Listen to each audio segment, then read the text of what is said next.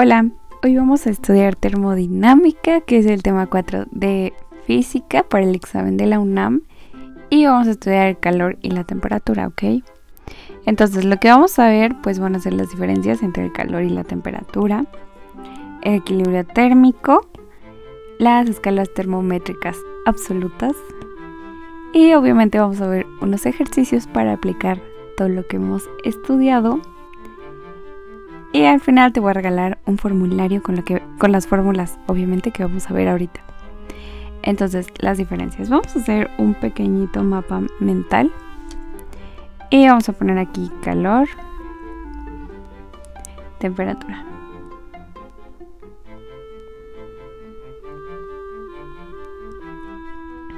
Ok, el calor pues es una energía que se va a transferir de un cuerpo con mayor temperatura a otro con menor temperatura. Entonces, ¿cómo va a ser esto? Supongamos que tenemos aquí una olla y aquí hay una cuchara, ¿no? Con una sopa súper deliciosa, pero súper calientita. ¿Ok? Y entonces vamos a servir esa sopa en un, en un tazón pequeñito de cerámica. Entonces cuando nosotros servimos esta sopa al tazón de cerámica frío, la cerámica va a comenzar a calentarse, ¿ok?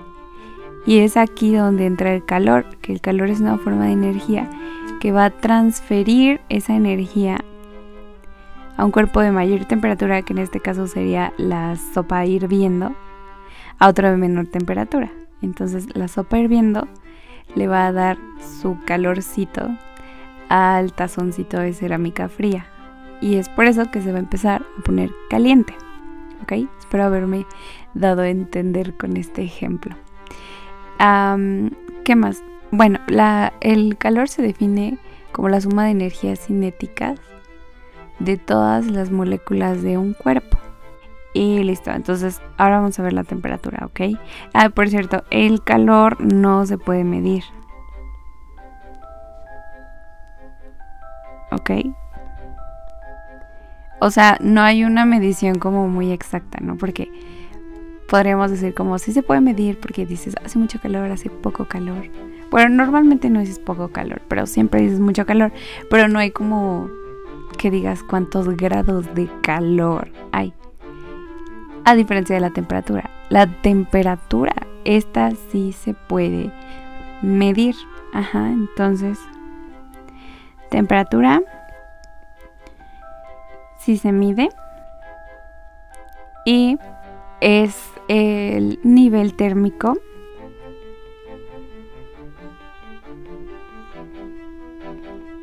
de un cuerpo. ¿Ok? Y esta solo es esto, o sea, el calor se va a transferir, pero la temperatura no, o sea, la temperatura solo es el nivel térmico que tenga un cuerpo, o sea, supongamos que la sopa tiene, está hirviendo a, pues al punto de ebullición del agua, ¿no? Que serían los, los 100 grados Celsius. Y supongamos que la temperatura del tazón de cerámica es no sé, pongámosle una cifra de de 20 grados Celsius, ¿ok? Y es todo, o sea, no no nos dice nada al respecto, ¿ok? Y el calor sí, o sea, el calor lo va, lo va a transferir a otro cuerpo. Y ya, y la temperatura solo, o sea, por eso es que el calor no se mide, sino que el calor pues es la es una energía que se va a transferir de un cuerpo a otro y la temperatura pues es el nivel térmico que tiene un cuerpo. Ajá. Como nosotros, por ejemplo, cuando nos vamos tomando la, temperatura en cada cinco pasos que damos, pues esa es la temperatura que tenemos, ¿no? O sea, de 30 y 36 grados. Pero 36 grados va a ser una constante independientemente si tenemos frío o tenemos calor. Espero no haberte enredado con la explicación. Si te enredé o algo así, déjamelo en los comentarios. Ahora vamos a hablar del equilibrio térmico y este también se conoce como la ley cero de la termodinámica.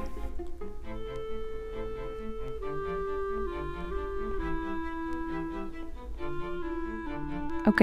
Esta es la ley cero de la termodinámica y nos dice que un cuerpo se encuentra en equilibrio térmico cuando el intercambio de energía calorífica entre sus elementos es cero. En consecuencia, los cuerpos se van a encontrar a la misma temperatura, ¿ok?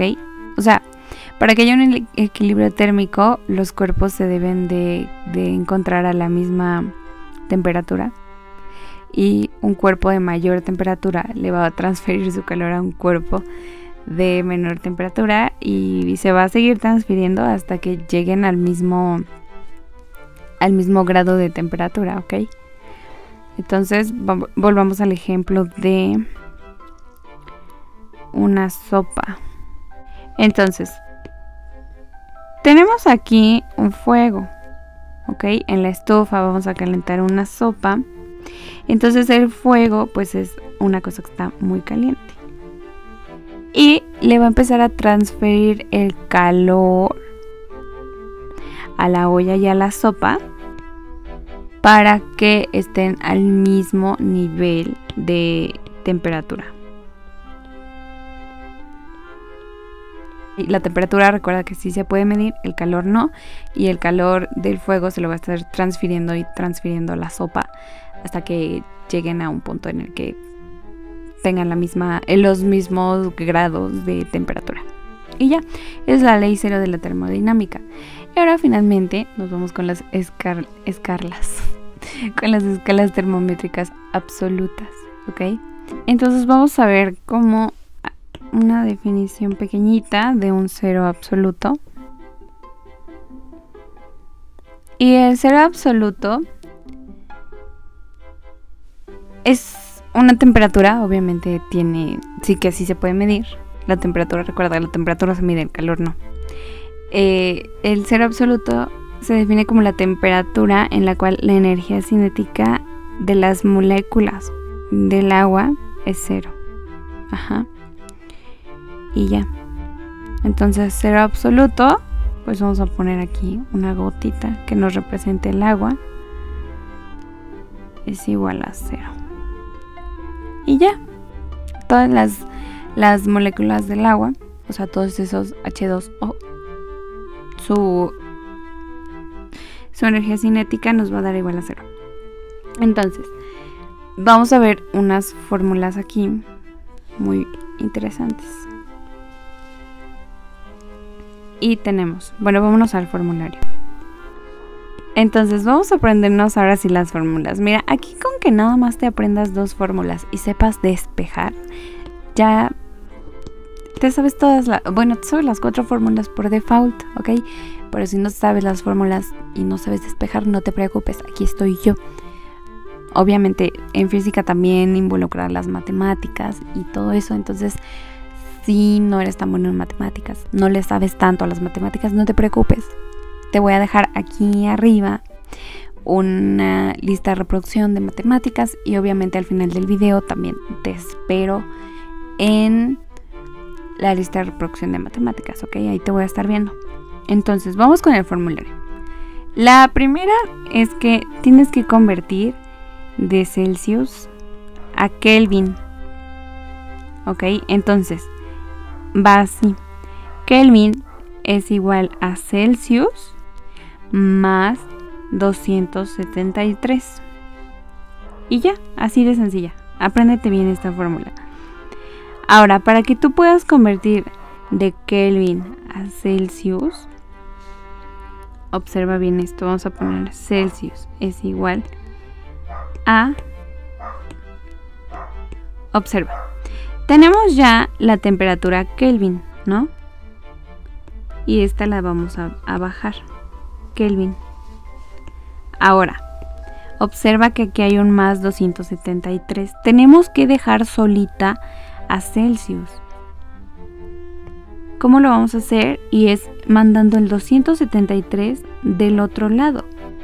Si de este lado está sumando más 273, pues del otro lado va a pasar restando menos 273 igual a Celsius. Y es como dejamos a Celsius solito. ¿Ok? Entonces,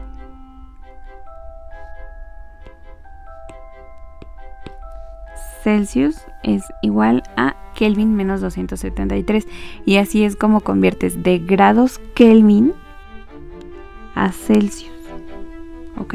Le vas a restar menos 273. Y listo. Por eso es que te digo que así, eh, o sea que para que te aprendas como las cuatro fórmulas, solo es necesario que te aprendas dos y ya. Y, que aprendas a despejar. Así de fácil se despeja.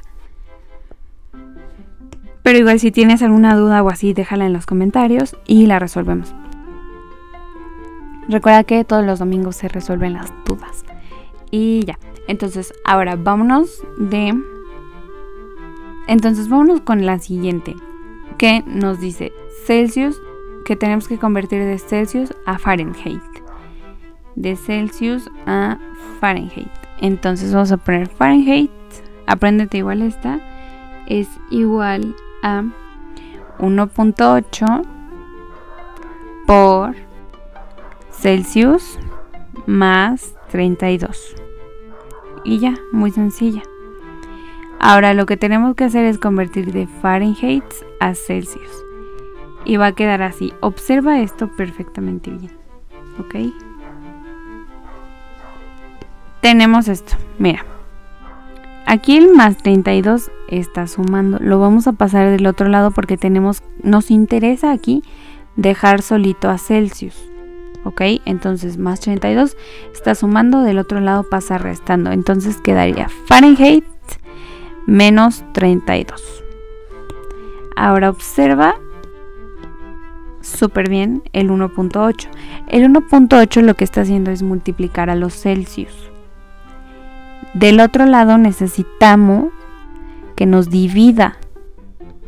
Y de este lado va a pasar dividiendo, ¿ok? Porque de este multiplica Celsius pero del otro se va a encargar de dividir. Entonces, Fahrenheit menos 32 entre 1.8 es igual a Celsius y es así como ya despejamos a Celsius. Ya viste, es demasiado sencillo hacer despejes. Celsius es igual. Y listo. Pero con que te aprendas dos, ya te sabes todo y que aprendas a despejar bien, ¿ok? O te puedes aprender las cuatro igual. Yo en mi momento me aprendí las cuatro súper bien y todo, pero pues ahora ya un poco más grande descubrí que es más sencillo que te aprendas una y el despeje. Entonces te paso el tip también, te puedes aprender las cuatro, es válido, pero este tip espero te pueda servir. Entonces, ahora sí, vámonos con la aplicación. Y bueno, vamos a empezar a hacer las operaciones. Que básicamente en esto, o sea, lo de lo que vimos de diferencias, pues es teoría. Lo que vimos de equilibrio térmico también es teórico. Pero las escalas termométricas absolutas no, no, eso no es teórico, eso lo tenemos que aplicar. Entonces aquí vamos a poner Celsius, Kelvin y Fahrenheit. ¿ok? Ya, así por rellenar la diapositiva. Entonces, vámonos con la aplicación. Aquí está el formulario. Tómale, tómale un screen. ¿Ya? ¿Ya le tomaste el screen? Bueno, entonces, ya que se tomó el screen, ahora sí, lo puedes imprimir o lo puedes tener en un cuaderno. Acuérdate de las hojas amarillas. Las hojas amarillas, haces tu formulario en las hojas amarillas. Te compras unas hojas amarillas y ahí haces el formulario y ya. ¿Ok? Las hojas amarillas son importantes para los formularios. Entonces, para convertir grados Celsius a escala Kelvin. Bueno, no, eso ya lo vimos, perdón. Vamos a empezar a hacer un ejercicio pequeño. Entonces, tenemos que convertir. Ve haciéndolo conmigo, ¿ok? Si quieres pausa el video y lo resuelves y ya luego ves cómo yo lo hago. Entonces, o ya le, adelantas un poquito hasta ver el resultado. Entonces, vámonos con esto. Tenemos que convertir 38 grados Celsius a Kelvin. Entonces, vamos a poner siempre nuestros datos, fórmula y todo eso de la primaria. Datos. Temperatura es igual a 38 grados Celsius. Y nos está pidiendo a los Kelvin. Fórmula. Entonces aquí tenemos que convertir de Celsius a Kelvin. Entonces, esto quedaría así. Kelvin es igual a Celsius más 273. Operación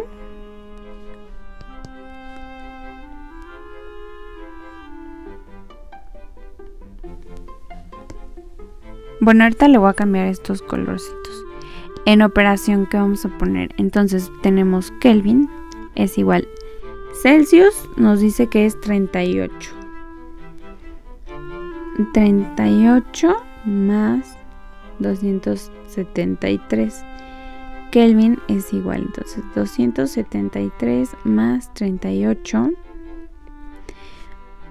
3 más 8 es 11, 11, 3. Entonces esto nos queda como 311.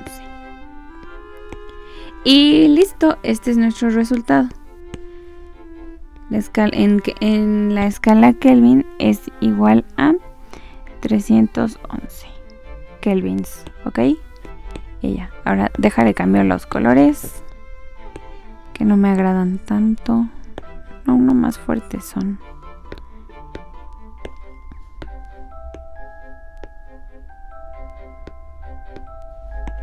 Y ya, entonces vamos a hacer otro ejercicio. Yo digo que hagamos uno de cada uno. De las cuatro fórmulas, hagamos uno de cada uno. Mm.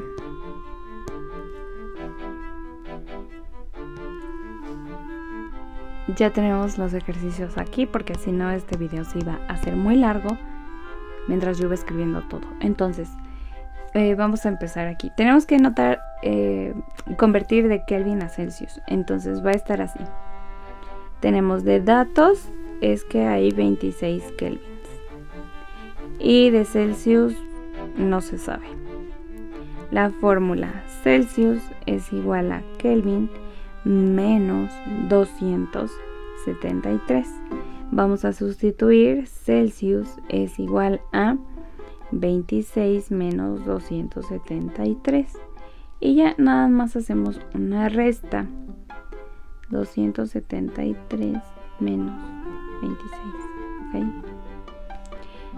13 menos 6 es igual a 7 6 menos 2 es igual a 4 y a 2 le quitas 0 pues es igual a 2 entonces te voy a enseñar aquí a hacer la comprobación de la resta.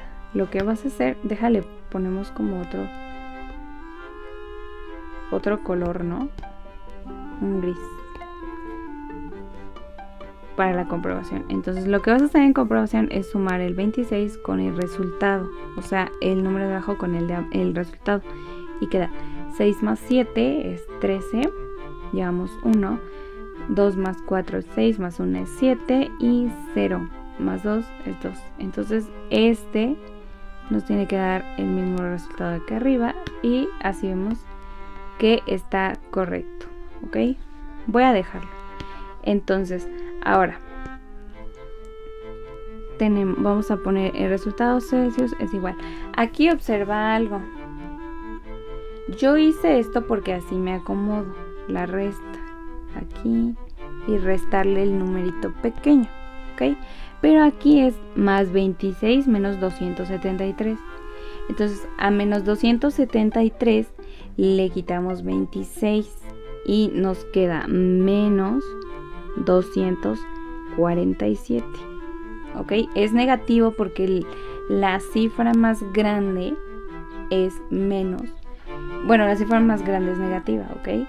Así fuera menos 27 o menos 26.05, esa sería una, una, cifra mayor a el, al 26, ¿ok?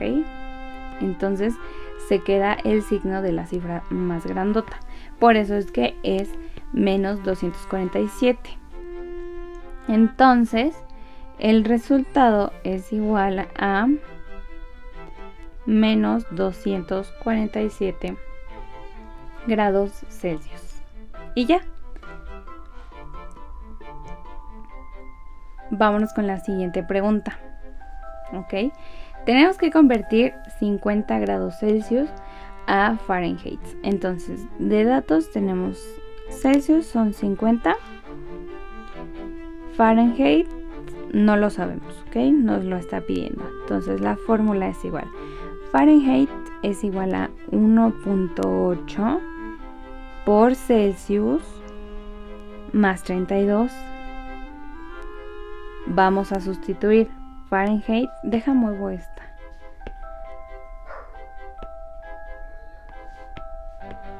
Y esta. Entonces nos queda Fahrenheit es igual a 1.8 por Celsius, que es 50, más 32 en operación. Bueno, aquí vamos a poner 50 por 1. Hazlo como a ti te acomode esta operación, pero te sugiero que lo hagas manual, no vayas por calculadora ni nada, porque en el examen de admisión no se aceptan calculadoras. Entonces hazlo manual siempre. Y por esa razón es que yo aquí te estoy enseñando cómo yo hago mis operaciones. Hay personas que hacen sus operaciones diferentes, pero lo importante aquí es que lleguemos al resultado, ¿ok? Entonces nos queda... Bueno, vamos a poner 50 por 1... Ay, ¿por qué pongo punto? 1.8. O sea, por ejemplo, aquí, aquí vamos a hacer una pequeña pausa. Entonces, no sé si ya viste el video donde te conté que mi mamá iba a hacer su examen de admisión, que ya se canceló porque ya entró a la escuela, pero, o sea, ya no hizo examen de admisión. Entonces, este... Pero, o sea, mientras ella estaba estudiando, lo que yo vi cuando hacía sus operaciones y es que cuando hacía las multiplicaciones hacía esto 50 por 1.8 y ya multiplicaba. Yo la verdad sí me lo enseñaron en la primaria, o sea, sí recuerdo que me lo enseñaron, pero yo nunca lo aprendí así. Yo lo aprendí como es en esta fórmula. Y mi mamá también, o sea, por ejemplo, en las restas, lo que hace es, o sea, hace como una recta, así, y le va restando así. No sé, como algo muy, muy raro. Es como te acomodes. Y lo que yo sugiero es que trates que sea algo que que te agilice las cosas, ¿no? O sea, que no tengas que estar haciendo como que más dibujitos y así, pero lo que a ti te acomode y lo que sientas que te hacen tener más rápido los apuntes y así está bien, pero siempre y cuando llegues al mismo resultado.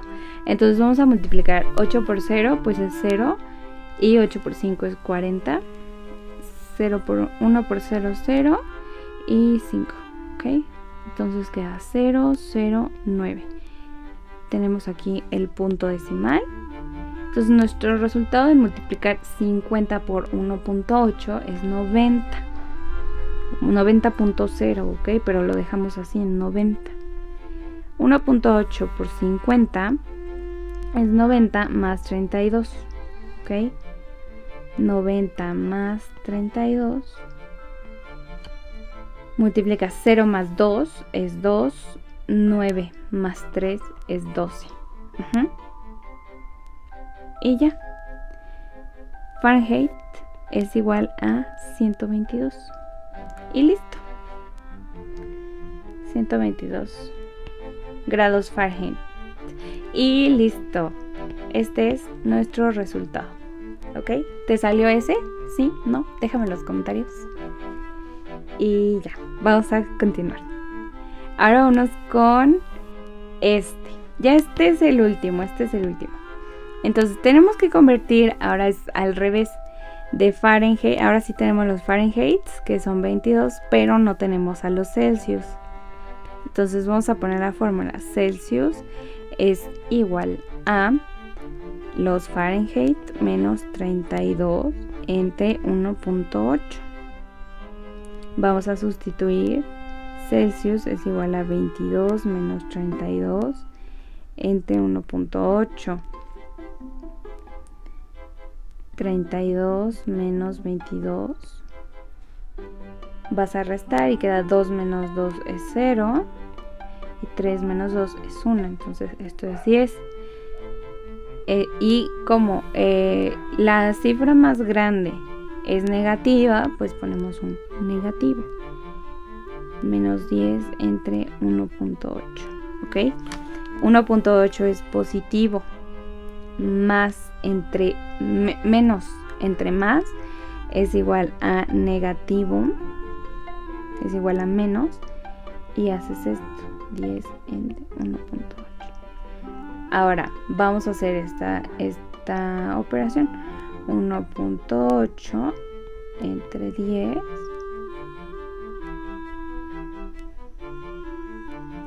y vamos a recorrer el punto lo vamos a sacar y cuando se saca el punto en adentro le vamos a agregar un 0 entonces ya queda 18 entre 100 y vamos a poner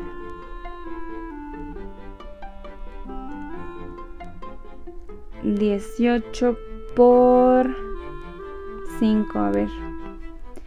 8 por 5, 40. 9. Sí, vamos a ponerle 5. Deja eliminar esta cosita que nos está estorbando. 5. Entonces vamos a multiplicar. 5 por 8, 40. Para 40, 0. Llevamos 4. 5 por 1, 5. Más 4 es 9 para 10, 1. Entonces ponemos punto, 0. Y esto ya vemos que aquí va a ser un periódico decimal. Entonces, eh, pero de todas formas, 5 por 8, 40. Para 40, 0. Llevamos 4. 5 por 1, 5. Más 4, 9. Para 10, 1, 0. 5. 5 por 8, 40. 0, 4, 5, 9, 1 y el resultado, bueno, va a ser un periódico decimal, pero el resultado es igual a 5.55 grados Celsius. Y listo, hemos terminado. Si tienes alguna duda, déjala en los comentarios. Y te espero en esta lista de reproducción que te debe estar apareciendo por acá. Espero que ya en este mismo momento tienes que estudiar muchísimo y Toma el screen al formulario. Te veo en la lista de reproducción. Sigue estudiando. Que tengas un bonito inicio de semana.